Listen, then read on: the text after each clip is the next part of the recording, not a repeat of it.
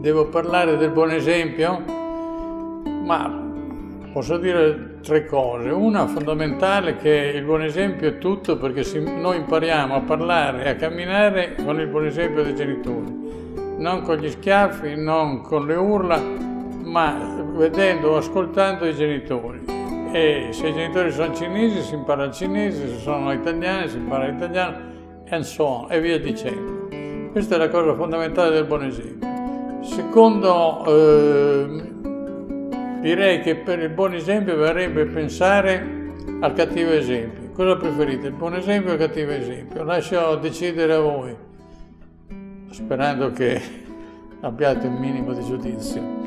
Terzo, il buon esempio trascina. Il buon esempio serve perché le persone poi si comportano bene, perché c'è lo spirito di emulazione.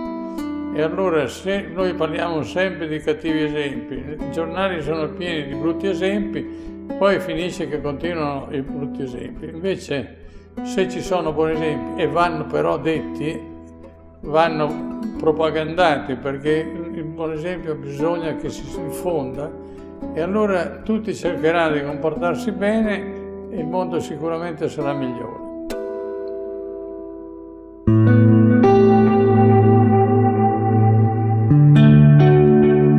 Project presenta Le età dell'uomo. Evento teatrale in 12 quadri.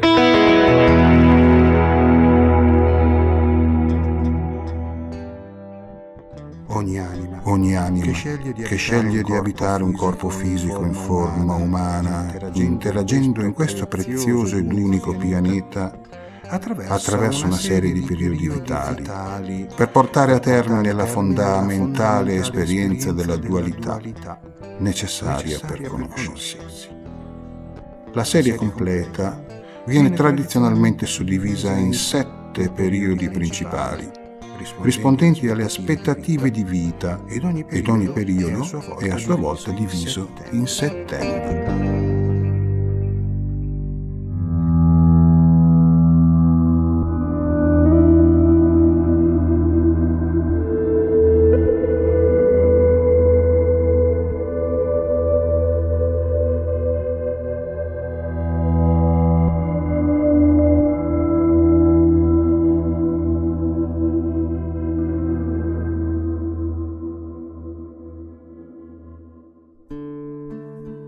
Lo spettacolo si sviluppa in 12 quadri scenici che vanno a rappresentare sia il tema dell'età dell'uomo che altri fattori emozionali che non saranno palesemente espressi ma evocati. Perché 12 quadri? Il 12 da tempo immemorabile è un numero sacro. Oltre ad essere uno dei più utilizzati e comuni della cultura umana, sia per il suo aspetto esoterico che per il suo utilizzo quotidiano. Ritroviamo questo numero dai mesi dell'anno alle ore del giorno. Dal numero degli apostoli alle tribù di Israele. Dai segni dello zodiaco ai dodici semitoni musicali ed altro ancora. Lo spettacolo ha una particolarità. L'azione scenica si svolge in modalità orizzontale sul palco, dove i performers, tra mucchi di materia movimentata dagli artisti, compiono azione scenica a terra. Sono sdraiati e si muovono strisciando, rotolando. Allo stesso tempo una o più telecamere puntate dall'alto verso il basso riprendono tutto ciò che succede, rendendolo visibile attraverso una proiezione video su uno schermo bianco che fa da fondale. La visione della reale azione fisica verrà resa difficoltosa per il pubblico che contemporaneamente avrà la possibilità di averne una completa attraverso la proiezione video sul fondale. Ma da una prospettiva particolare.